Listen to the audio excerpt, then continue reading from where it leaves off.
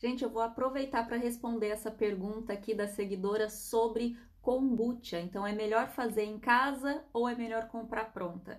Assim como todos os alimentos no geral, é sempre melhor comprar pronta, mas eu sei que a kombucha não é um alimento, uma bebida, na verdade, né, muito fácil de ser feita, assim como vários outros alimentos fermentados.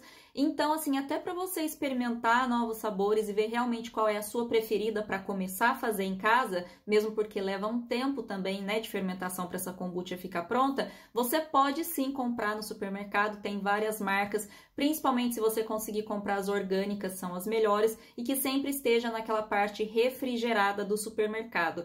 Porque o que, que acontece? Quando ela tá lá na prateleira, é porque ela passou por um processo de pasteurização e isso serve para todos os outros produtos fermentados, tá? Para o quinte, para o miso, Uh, também, né, a gente não compra o fermento natural para pães, né, o levain, por exemplo, mas a gente compra o pão de fermentação natural. Então, aquele pão que fica lá na prateleira junto com os outros pães de forma, na verdade, é todos os benefícios da fermentação natural não existem mais nesses alimentos depois que eles passam por um processo de pasteurização, né? Porque a fermentação natural, ela é aí uma colônia viva, né? E ela, principalmente a kombucha, por exemplo, que a colônia ainda está ativa ali, porque no caso da fermentação natural dos pães, tem o benefício, porém no momento que assa, né, muda aí completamente porque você não tem mais a sua colônia viva, mas a quantidade de conservantes que vai no pão realmente assim não vale a pena, né? Você perde todos os benefícios, é tipo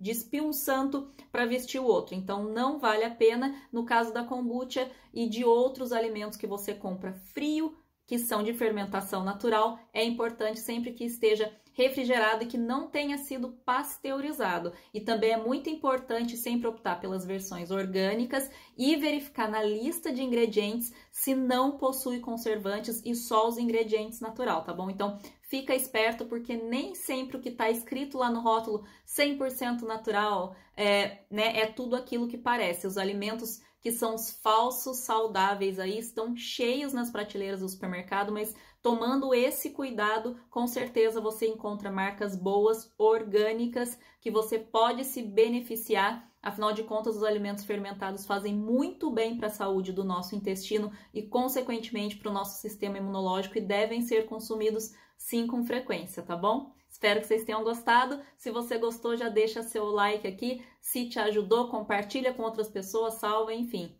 Até mais. Tchau, tchau.